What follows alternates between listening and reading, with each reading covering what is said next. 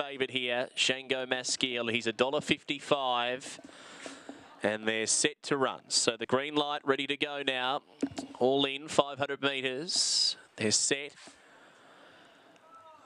Away and racing, and Django Maskiel away well. He's going to push through, and he will take up the early lead roll. About a length in front only. To Evan Lee going to second. Thylacine out wide, and Daintree Lad drives the rail as Django Maskiel broke clear. Then Ultimac and Victory Fire at the end. So Django Maskiel led four. The danger's Daintree Lad, and he's closing now very quickly as the leader wobbled, turning for home. Django Maskiel in front. Daintree Lad's got him. He loomed up on the outside, takes the lead, and Daintree Lad too good. Won it by a neck from the favourite Django Maskiel, who just couldn't run the 500. For third in will be Evan Lee, fourth Evan, uh, third rather Thylacine, fourth Evan Lee, and then Ultimac and Victory Fire. The run 27.97 for Daintree Lad.